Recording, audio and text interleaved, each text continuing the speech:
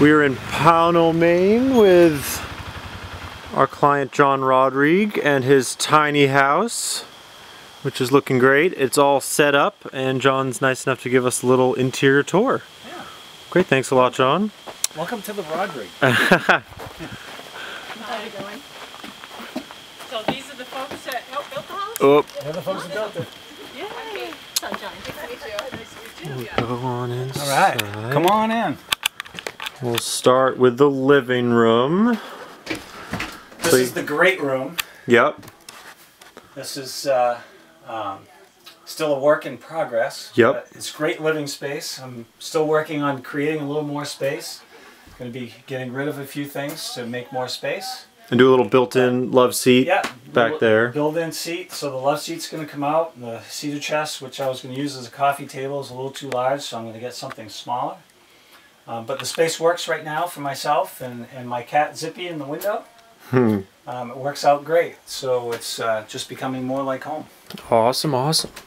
We'll go. You have a little dining room table right here. Yep, that's uh, that we kind of um, repurposed my old dining room table and cut it down to fit. And Perfect.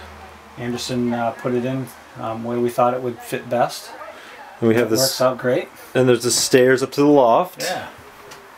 Yep, with all my stuff in. with all the storage. There's the fridge under there, trash recycling, shoes.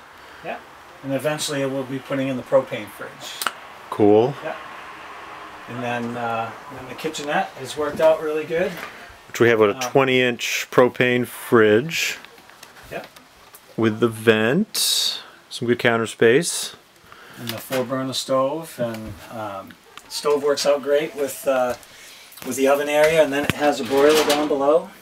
So it's been working out great. I'm getting used to using propane. Um, I put the shelves in for storage. I, I didn't have Anderson put in shelves in, but until I really knew what I needed, so I, I put those in myself and some on this side. But I use the sink in the kitchenette um, for everything. I don't have one in the bathroom because I, I just didn't really want one in the bathroom. So I use this one for everything. It works out perfect. Great. Yeah. And in the bathroom, what do we have in there? There's a Nature's Head toilet. Oh, with a light, Nature's Yeah. Head toilet. There's a Takagi propane on demand. Yeah. And then there's a, A stand-up shower.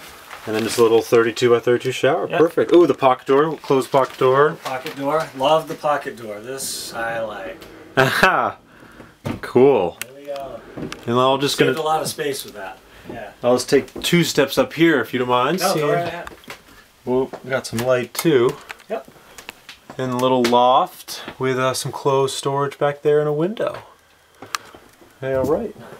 Yeah. It works out great. There's uh, plenty of good cross ventilation during the nights. When it's nice cool night, it cross ventilates really well. And um, I've found being where I'm located right now, even on warm days, it stays pretty pretty cool. And then TV on the wall.